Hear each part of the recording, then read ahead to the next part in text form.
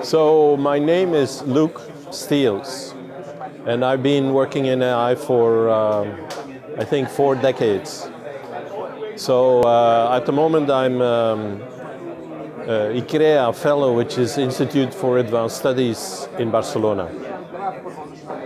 And um, well, I worked in many areas of AI, in uh, knowledge-based systems, in uh, robotics, uh, but uh, my primary area is actually language, so language processing. And I've been involved in projects to see how we could have uh, a better understanding of language evolution. So the emergence of communication, and I'm doing experiments with robots to investigate that. Well, I mean, humane AI or human-centered AI it has many meanings for many people, so this is a little bit unclear at the moment. But for me, it means that uh, we kind of gain back from the, um, let's say, emphasis on mechanization uh, and on, on treating people like machines, basically. And so for me, uh, human-centered AI has to do with meaning with, with the values in our society, but also in how we treat other people. So I've been very disturbed by the use of AI for manipulation, for getting their data, for you know, using AI in, in places where, in my opinion, it should not be used.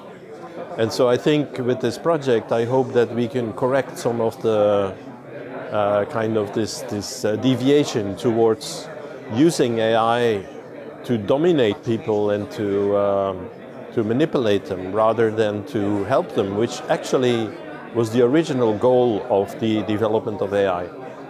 So my Blue Sky project would be to bring together uh, the people in Europe who are working in the uh, arts, in design, in architecture, um, who actually have a tradition to build human-centered technology or human-centered objects. You know, I'm thinking of the, if you look at the Italian design of a lamp, for example, it looks uh, very simple, but actually they put a lot of thought in it.